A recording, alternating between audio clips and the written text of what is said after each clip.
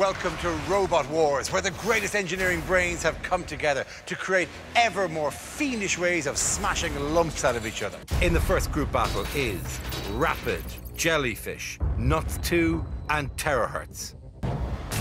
Our four teams head into battle. Tactics and experience will play a big part in surviving our hazard-packed arena. Three, I love the smell of the Robot Wars arena in the morning! Oh, and immediately Jellyfish is up in the air! The lowest, smallest robot in the competition in terms of height. The flailing chains of nuts, a three meter diameter on that fearsome weapon. Jellyfish in trouble. Come on, Jelly! Dave Laurie at the controls with Gemma alongside him. They'll try and clamp and hold on and hold on to their reasoning and hold on to a place in the competition. I'll tell you what, they aren't doing badly to stay. Oh, left of that attack there. Mighty blow from the TerrorHurtz, and the little cluster bots are out there as well, belonging to the Nuts team. There we see Rapid in underneath and flipping Jellyfish into the air. Rapid with that incredible flipper. Well armoured too. 15 times more powerful than any other flipper ever built. But where are they in the competition now? In after nuts. Turning, spinning, control problems. Oh! What about this? Oh, Matilda! Don't mess with the rear end of Matilda. Oh, it's a grisly place to be. And that's a doomed place to be. Nuts! Oh, the nutty boys! Ouch!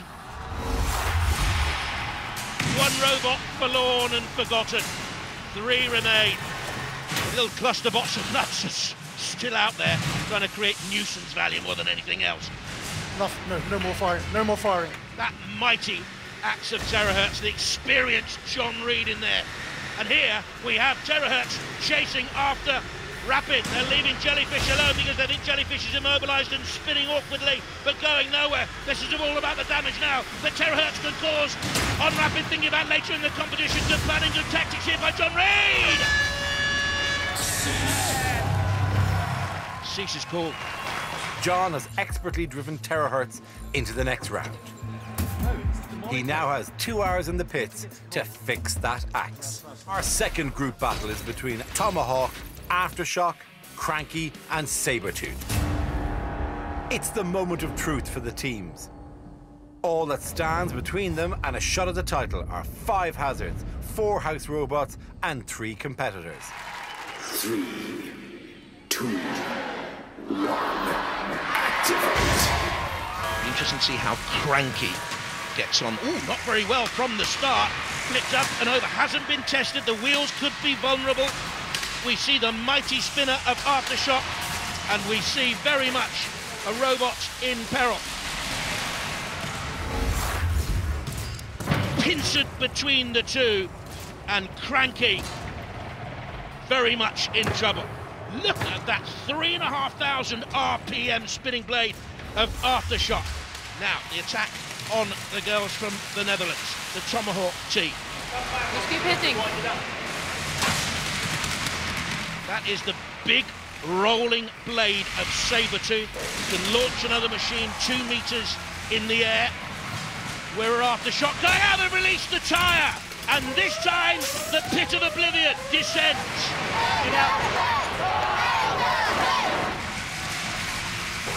Look at the damage on Crank-E, on the armament there. The Stenks Paradox armament. Oh, Immobilised machines, not aftershock. Certainly there. Tomahawk and the Netherlands team. It's all double Dutch for them.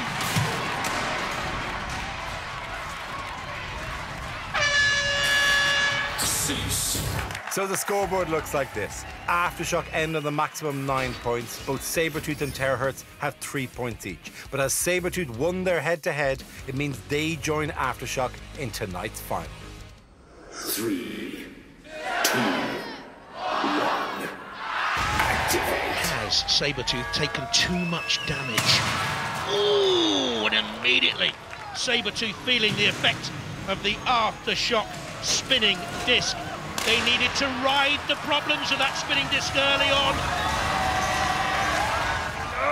And they're certainly good disc jockeys in that aftershock team because look at Sabretooth. Ooh, wonky. All right, steady, steady.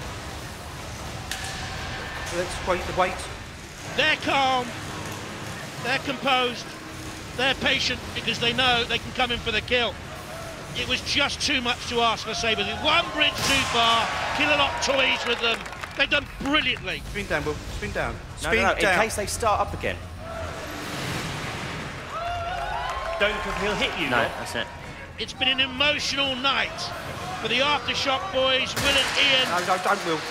We've got a real contender here, and an emotional night for Gabriel Esme, Rob and Al. Four, three, spin down. Because he was trying to drive Spin it. down. Aftershock, the Heat winners. It won, and it won well the entire way through the show. It's your winners tonight, ladies and Give it up for Aftershock. Thank you.